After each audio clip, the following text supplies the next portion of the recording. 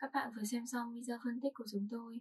Sau đây sẽ là video hướng dẫn cách làm một chiếc vòng tay màu đỏ có tên của huấn luyện viên Eric Spoelstra nhìn này của tôi. Bây giờ các bạn vào làm cùng tôi luôn nhé. Rồi, ok. Để bắt đầu vào làm thì các bạn sẽ chuẩn bị cho mình những dụng cụ như sau.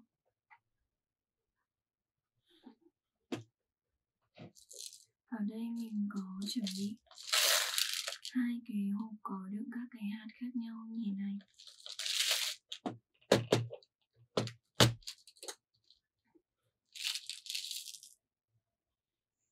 Hộp đầu tiên thì mình sẽ đựng các cái hạt nó có các cái màu sắc và hình dáng khác nhau nhé.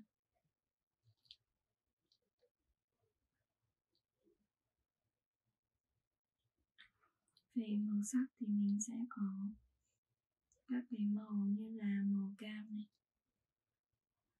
màu đỏ, màu hồng, màu tím, màu xanh than.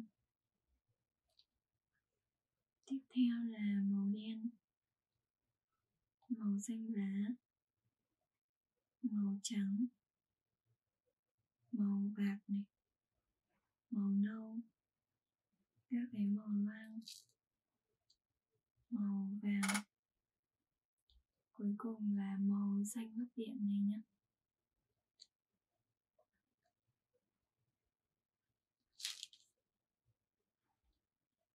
tiếp theo về hình dáng thì mình sẽ có các cái hình như là hình quả bóng rổ này. Hình tròn có hình trái tim ở giữa.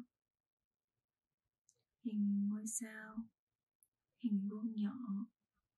Hình tròn nhỏ này hình mặt cười. Tiếp theo mình có hình ống dài.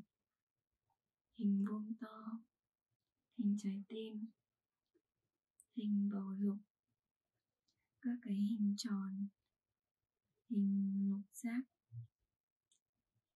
Và cuối cùng là các cái hạt hình viên kim cương này nhé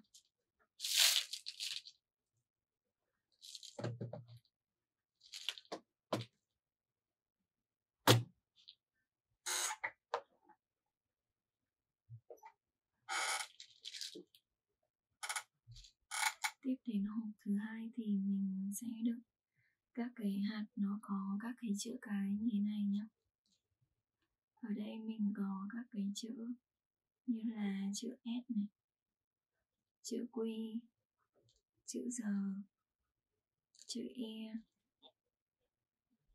Hàng thứ hai thì mình có chữ R, chữ Y ngắn chữ B chữ A. Hàng thứ ba thì mình có ba cái ô màu đen này. Đựng các cái hạt hình vuông nhỏ, có các cái chữ cái khác nhau. Hai ô này mình đựng các con số. Ô này mình đựng chữ n, chữ v này. Còn hàng cuối cùng, ô này mình đựng chữ x, chữ y, chữ z đây là chữ c chữ g chữ F, chữ T, chữ U, chữ M, chữ H này, chữ G, chữ L và cuối cùng là chữ O, chữ P và chữ K nhé.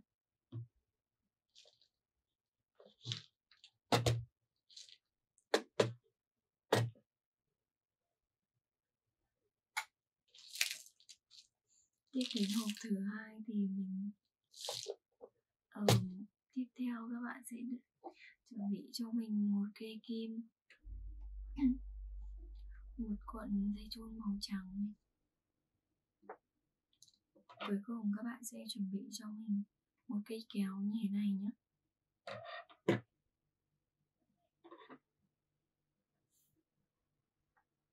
sau khi các bạn đã chuẩn bị xong đầy đủ dụng cụ rồi Bây giờ chúng ta sẽ bắt đầu vào làm luôn nha.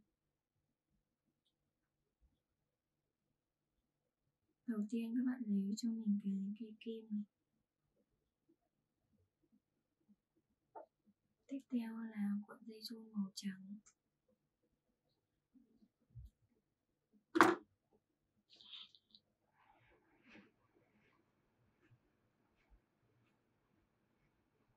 Bây giờ mình sẽ buộc cái sợi dây chun này vào cái kim này nhé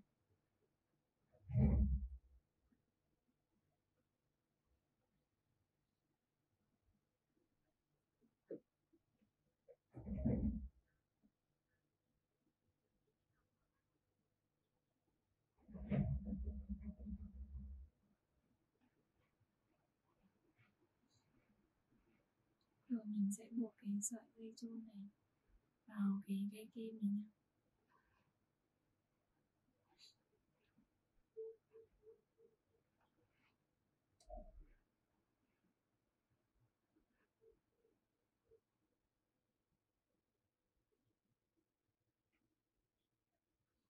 đó mình sẽ buộc nó chặt vào để nó không bị tuột ra nhé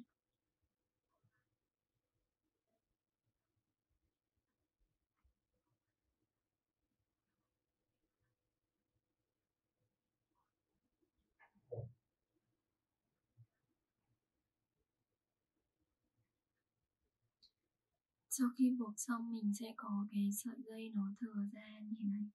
Bây giờ mình sẽ cắt cho nó ngắn bớt đi nhé. Mình sẽ dùng cây kéo này để mình cắt nó ra nhé.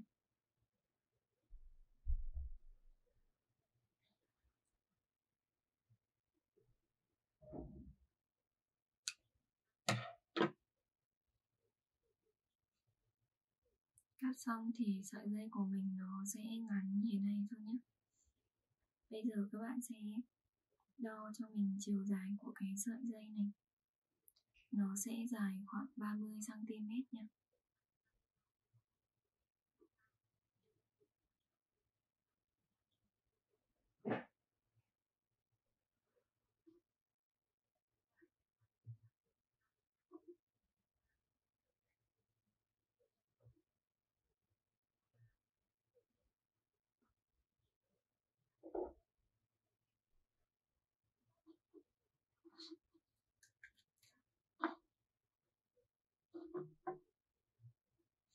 sau khi đo xong, bây giờ mình sẽ cắt cái sợi dây chun này ra nhé. Mình sẽ dùng cây kéo này để mình cắt nó ra nhé.